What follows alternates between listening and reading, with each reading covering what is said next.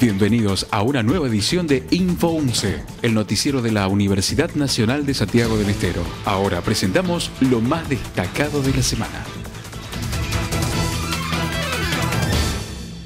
Se recibieron a jóvenes de la localidad de Atos Pozo del departamento San Martín desde el programa de educación continua de la UNCE para presentar la oferta en cursos y talleres de rápida salida laboral que ofrece. Se aclaró además que estas capacitaciones cumplen con los requisitos que exige el programa Progresar.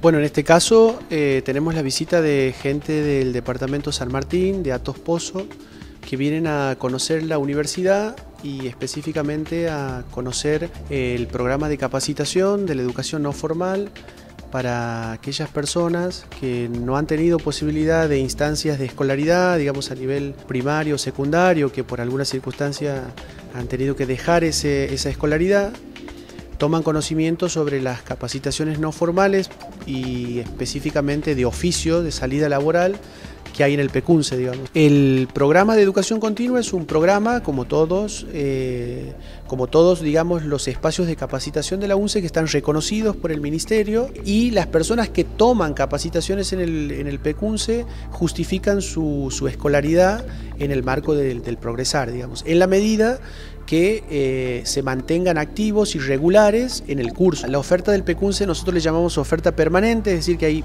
en todos los meses del año hay eh, capacitaciones que ofrecemos desde el aspecto de la formación docente, o sea, para docentes del sistema educativo santiagueño, y cursos que van desde el oficio hasta cursos de carácter artístico, digamos, ¿no? Es decir, eh, permanentemente estamos renovando las ofertas en estos distintos aspectos de formación miembros de los pueblos originarios Guaycurú, Sana Virón, Lule Vilela, Diaguita Cacano, Vilela y Tonocoté de Santiago del Estero brindaron una charla sobre sus orígenes, su historia, las características principales de su cultura y sus necesidades actuales. La Cámara de Diputados de la provincia declaró de interés provincial este acontecimiento, organizado en conmemoración por el Día del Nativo Americano. Notka sutikani tonocote.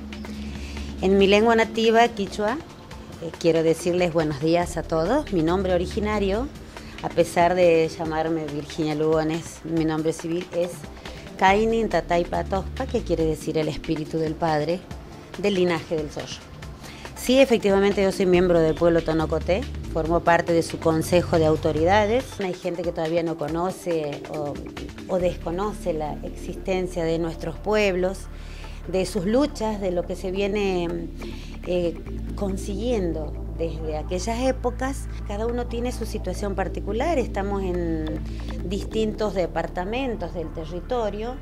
Yo puedo hablar muy poco del resto, sí soy tonocoté, pero las luchas son comunes eh, la defensa de nuestro territorio y las luchas de todos, o sea, en salud, en educación, tratando de visibilizarlos de nuevo porque han sido negados muchos, muchos siglos, no han sido respetados sus derechos, ni su cosmovisión, ni sus creencias. Entonces es un poco ir llegando de nuevo a la gente que no, todavía no conocí, pero que se está interesando, por suerte, en todo esto y dándole los espacios que hoy la universidad está abriendo para que lleguemos también eh, a los pueblos y a la comunidad a través de esta interculturalidad.